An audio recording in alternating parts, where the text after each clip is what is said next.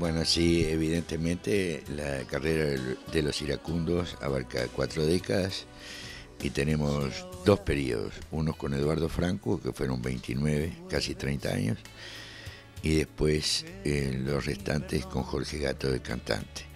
Sí, los iracundos eh, fundamos el grupo con Juan Carlos Velázquez, el baterista, y Eduardo Franco allá en 1962.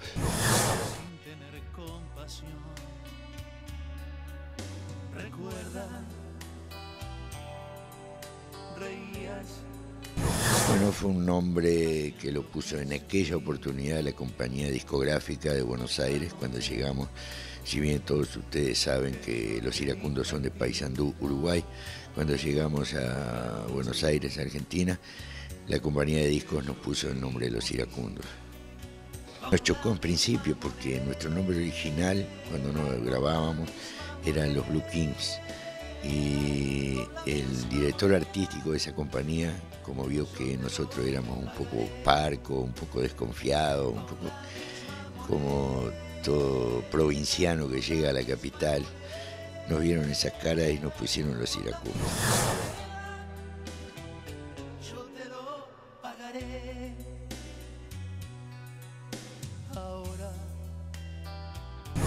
Eso se lo debemos a nuestro público. Bueno, ya Eduardo, había cantado ya por 30 años en el grupo y las canciones de él son harto conocidas. Y, este, y ese público que nos apoyó junto con él durante 30 años quiso seguir escuchando la composición de él y este, aceptó al nuevo cantante Jorge Gato, que dicho sea de paso, fue puesto por Eduardo Franco.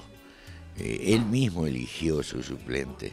Ya en los últimos años él venía un poco mal y veía en las últimas presentaciones que él estuvo, a veces podía cumplir, a veces no, por eso ya Jorge Gato alternaba con nosotros. Así se dio el cambio.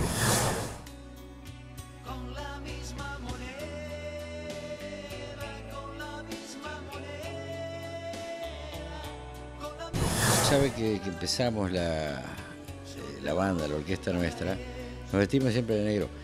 Porque las canciones nuestras, como son románticas, como son un poquito serias, ¿no? Aparte de hacer las canciones rítmicas que tenemos, nos gustó el negro, que es formal, es más serio. Simplemente por eso. ¿no?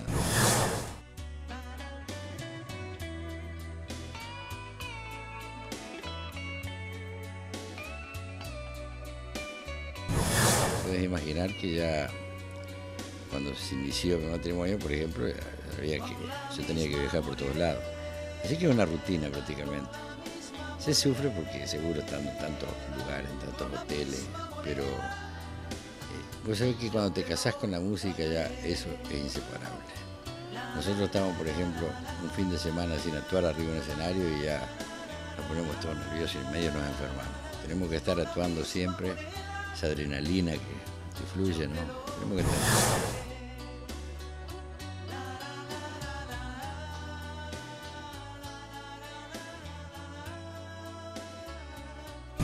sabes que este, las canciones románticas van a existir toda la vida.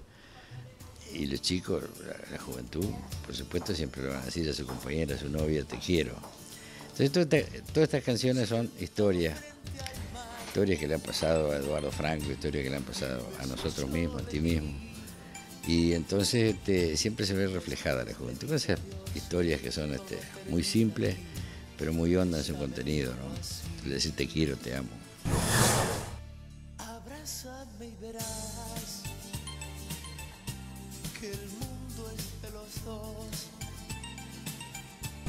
Bueno, en realidad em, con, Franco nosotros tenemos una, digamos, una breve amistad porque eh, yo lo llamaba, digamos, periódicamente a él para ver qué, actividad estaba haciendo porque es muy fanático de los iracundos, entonces este, eh, había un contacto. Yo tenía otro grupo que hacía canciones de los iracundos y bueno, eh, simplemente le pareció que, yo estaba bien para, para ocupar ese puesto porque pienso que la intención de él era más que nada que el grupo no se detuviera, que el grupo no parara de trabajar, de hacer sus giras, de, grabar inclusive.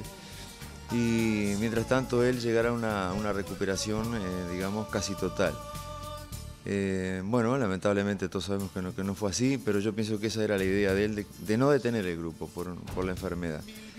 Y pensó, confió en que yo iba a hacer las cosas medianamente bien y, bueno, le tengo que agradecer toda la vida la, oportunidad de, ser de fanático debajo del escenario a ser músico integrante eh, arriba del escenario.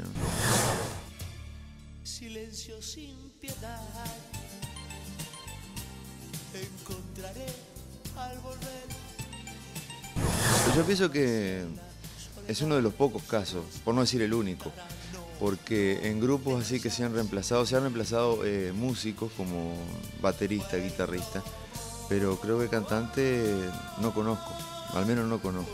Yo pienso de que eh, más que nada no es por la presencia mía exactamente, sino que el, público de los iracundos es muy grande y, le mantiene siempre a esa firma, como yo le digo, que se llama Los Iracundos, le mantiene un cariño y un respeto muy grande y bueno, ayudado con, digamos, con, la, con una voz este, no igual, pero que mantiene un estilo de iracundo, eh, ayuda a que este grupo siga en el tiempo. Y bueno, por suerte caí bien dentro de la fanaticada de los iracundos y, hace que, que sigamos el camino todavía.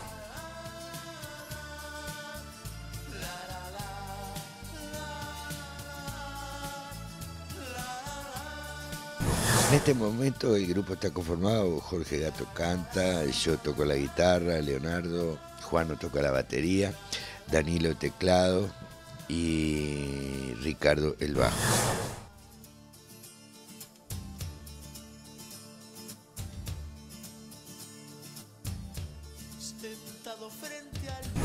Hemos este, acordado con eh, esta empresa de Nueva York, Riera Records, para estamos haciendo 15 videos para ser difundidos en todo el mundo, especialmente en Nueva York, este, de todas estas canciones eh, tan este, identificatorias del grupo y yo creo que va a ser todo un éxito puesto que hay mucha gente que lo está esperando y también vamos a estar para su lanzamiento, lógicamente, en la ciudad de Nueva York, de toda esta nueva producción, para este esfuerzo que ha dicho Riera Records.